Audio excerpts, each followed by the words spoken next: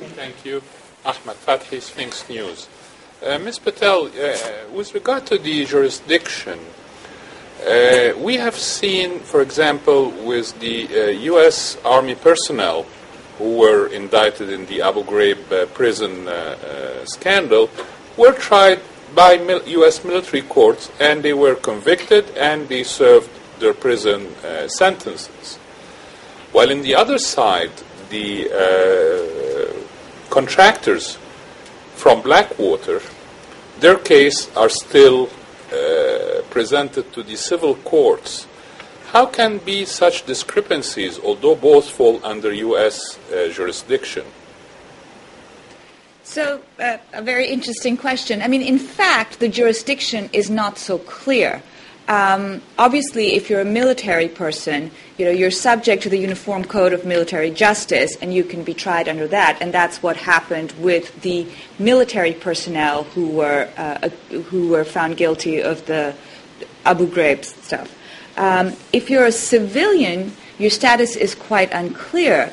And what the United States has done is two things to try and close that gap.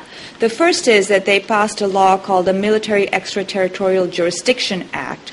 And what that act does is that it extends military jurisdiction to Department of Defense contractors um, operating with the U.S. forces.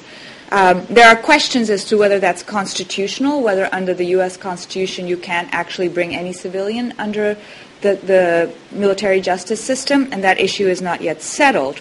The second thing that the United States has been trying to do is to pass a second statute, which is called the Civilian Extraterritorial Jurisdiction Act, which would then fill the gap that remains with the contractors who are out there who are not uh, associated with the combat mission.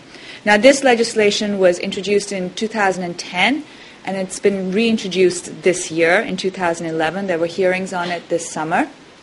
And so we'll have to see where that goes. I would point out, however, two things. One is that the civilian statute actually also uh, has an exemption for authorized intelligence activities, so there is a potential loophole over there as well. Um, and the second thing is that in civil litigation uh, involving uh, contractors, and particularly it's the case of um, it's the Saleh case versus Titan. Um, it's a civil lawsuit uh, brought by 250 Iraqi detainees alleging human rights violations by U.S. private contractors who provided interrogation and translation services at Abu Ghraib. And the civil case was dismissed in uh, nine, I believe it was, on the grounds that the contractors were providing a combat function so that they had an immunity similar to that of the military. Uh, so obviously that's a big gap.